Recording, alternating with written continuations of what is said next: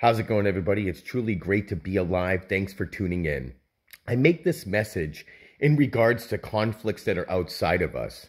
That if you really look at people, and the more that you do shadow work, or if you actually take it upon yourself to help people, or you're dealing with situations of where an individual is in a state of autopilot, or subconsciously are making all these actions and mannerisms and behavioral traits the more that you start to hold them accountable, they're going to end up telling you that they're unaware. Now, the more that you hold somebody accountable, they start to conflict inside their own self between right and wrong, and their own ego begins to battle them on the inside, and their subconscious begins this internal struggle.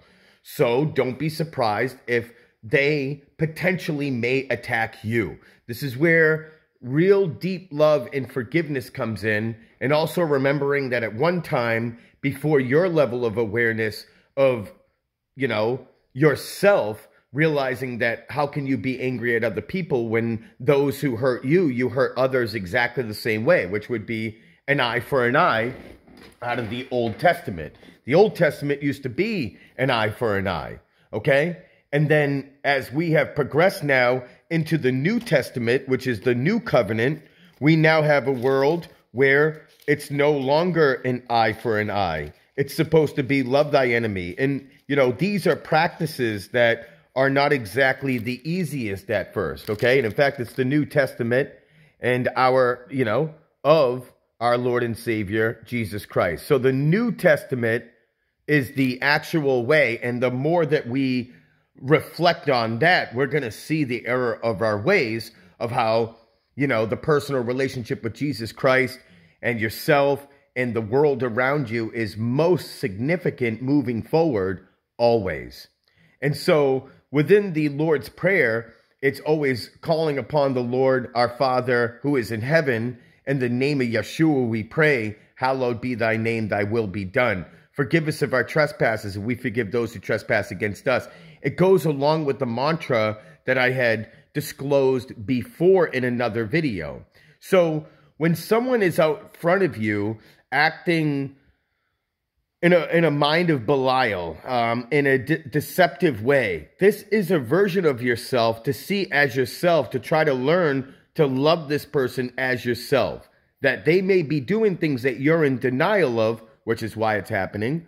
You're finding resentment, which means it's unfair, or an act of indignation as though someone's hurting you, or a strong judgment, which we only judge what we don't understand, and we judge them not knowing that they don't know what they do. So what we're doing is joining the conflict. Each judgment is like throwing a stone at somebody.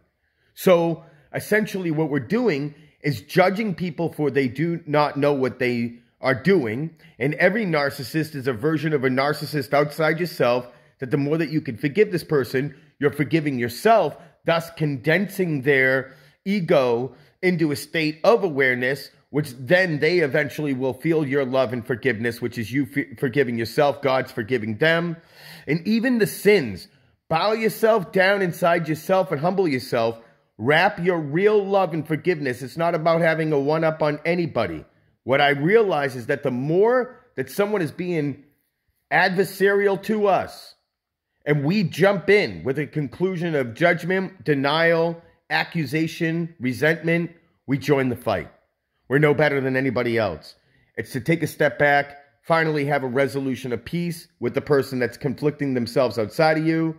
And if it wasn't for the things that I went through, I wouldn't know this information. So I have to thank the people that tested me and brought these challenges on me. And the only way that I was able to get myself back metaphysically to where I am now was by really forgiving and accepting and loving these people and truly taking them in as myself. And even though they hurt me and I could hold this up over them, getting down and really forgiving them inside myself has released all these entanglements in these versions, these fractal versions of them.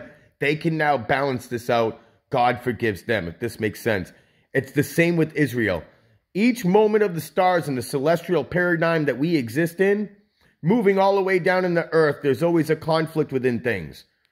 And so it's either going to be peace or conflict. It's an ebb and a flow that constantly keeps going.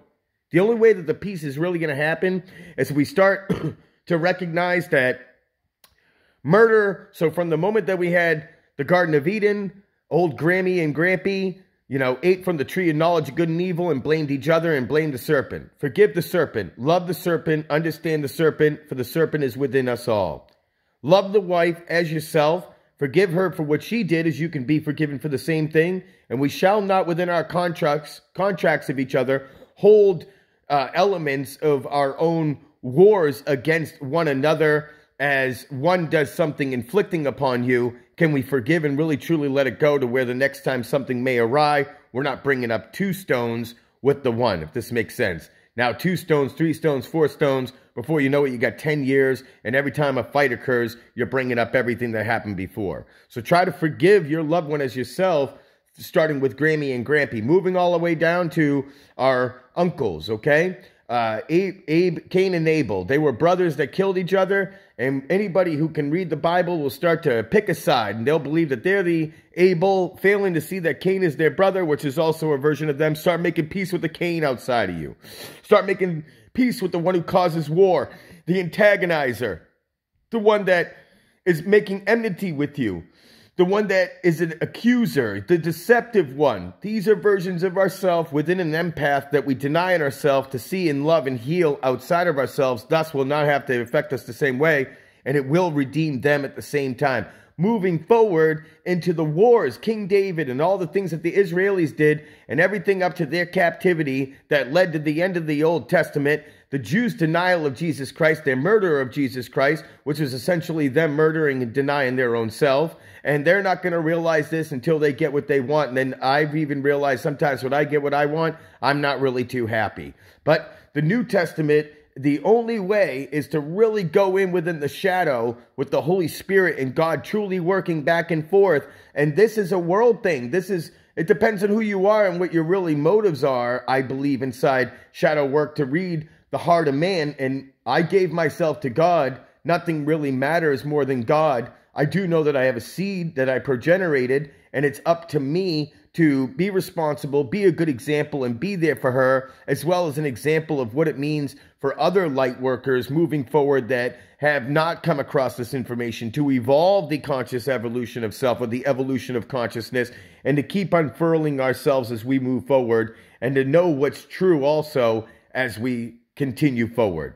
Now, you know, within duality, good, bad, we can blend the two together and there is a gray area, but you can get lost in the gray area where you start letting things happen. Again, all is within the will of Christ. And eventually, those who are righteous know what right is versus wrong, and they're not going to give themselves into all the same things that are mentioned throughout the Bible between, you know, malignancy, lasciviousness, um, maliciousness, uh, you know, fornicating, adulterous, all these specific things that live within the soul of man that need to be confronted and edified within each soul moving forward. So the wedding, the purity of our soul is fulfilled.